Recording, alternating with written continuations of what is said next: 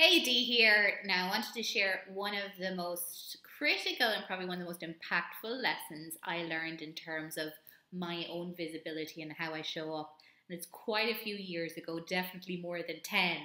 And I was at a, an engagement where I was going to be speaking to a very large audience.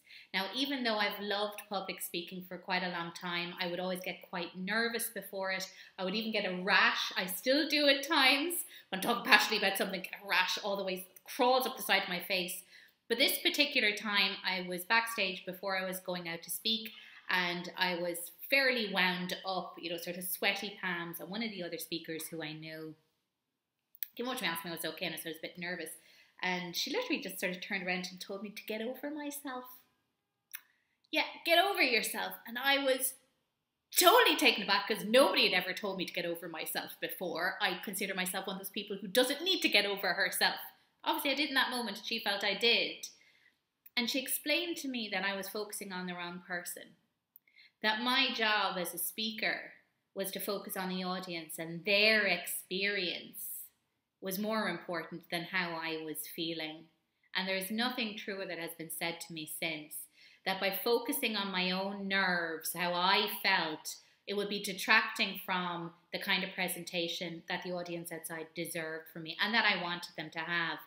And that didn't certainly solve my nerves issues, but it definitely did make me change my focus and it lessened the trepid, you know, the trepidation before doing any public speaking. And I think this is an important message in any kind of promotion that you're doing to the public, particularly if you were nervous like I was. It's to get over yourself. now I have the opportunity to say it to you. It's to get over yourself. Stop, you're focusing on the wrong person. Your job as a business owner, as an entrepreneur, as a leader, whoever you are, is to make sure that your audience, your team, your customers have the best experience with you, of you, from you. And your job is to focus on them more than focusing on yourself. So if you're one of those people that is stalling right now in your visibility and you're not getting out there because you're saying, I don't look good enough and I don't know enough and what if, get over yourself. You're focusing on the wrong person.